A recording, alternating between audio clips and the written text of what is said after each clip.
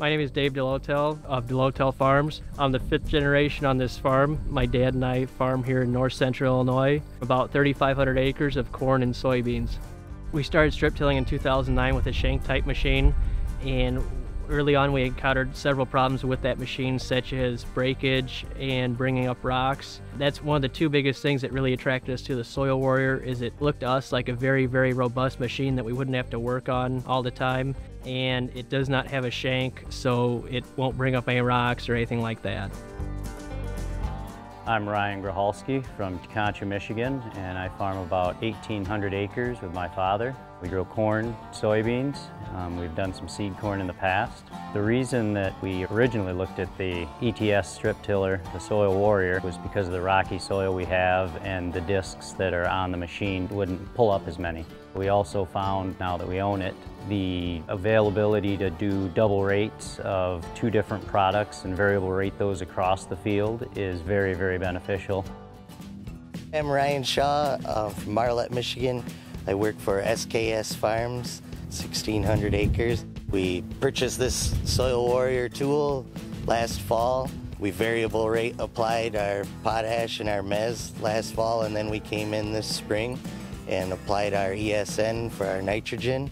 Our two passes combined was all that we had to do. This machine has replaced almost every tool on the farm for tillage. There's just three of us that work on the farm, so we don't need a whole bunch of extra help or extra tools or sheds to store everything in. One of the first things that we noticed right off the bat is the amount of fuel that we saved using the Soil Warrior over the conventional tillage system that we were in before. With the two-pass system of the Soil Warrior with the spring pass with the deep cogs and coming back and reconditioning the strip in the spring, we're burning about 1.4 to 1.6 gallons per acre compared to in the fall before we were burning about two, two and a half gallons an acre just with the disc ripper. One of the reasons we looked into the Soil Warrior was because, like as you can see here with conventional tillage, um, we've brought a lot of rocks up uh, to the surface and now we have to deal with them, which would mean we'd have to come in with another person to pick the stones and haul them out of the field, whereas over here a little farther where we ran the Soil Warrior, the rocks tend to stay in the ground a lot better so we don't have to deal with them. With this machine, with the technology that's in it, I have an amazing amount of data that I can collect to diagnose the actual difference between my conventional and the way this machine works now. It has saved a lot of fuel just how many times I've had to fill it up per acre. It variable rates all my inputs to a two and a half acre grid. We've always had very, very good luck with the Soil Warrior service. Whenever we've needed parts, they've always been able to overnight them. Or if we needed something in a pinch, they had absolutely no problem at all meeting us halfway.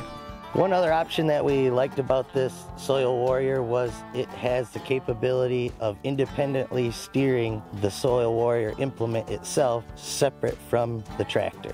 It also is a very speedy uh, application. You can run up to eight miles an hour with it if you're in good situations and cover a lot of acres. So that really helps out in a wet spring. Our first year using the Soil Warrior, we were on their rent to own program in which we could rent the machine for an entire season before we decide if we wanted to buy it or not. And the thing that really attracted us to their leasing program is the rental payment actually counted for the very first lease payment on the machine, so that worked out very well for us. It's very well engineered, it is easy to work on, and the technology is more than you could ask for.